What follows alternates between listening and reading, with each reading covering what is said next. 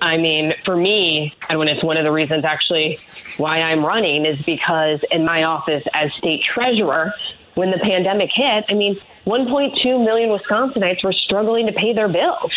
And our state legislature, which by the way is a majority Republican, didn't go to work for over 300 days. So in the middle of this crisis, our Republican leadership decided to show up for work. They took a vacation.